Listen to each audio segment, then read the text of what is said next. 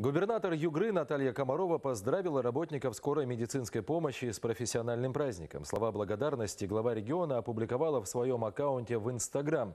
Цитата. «В трудную минуту именно от их оперативности, профессионализма, навыков зависит судьба тех, кто оказался в беде». Конец цитаты. Кроме того, губернатор поделилась видеороликом с историями о трудовых буднях работников скорой помощи в Югре. Поначалу, когда едешь на вызов, кажется, что едешь в неизвестность.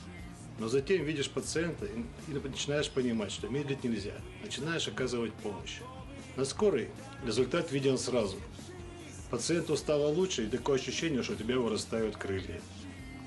Каждая успешная реанимация и спасенная жизнь делают меня счастливым. Ради этого, я считаю, стоит жить.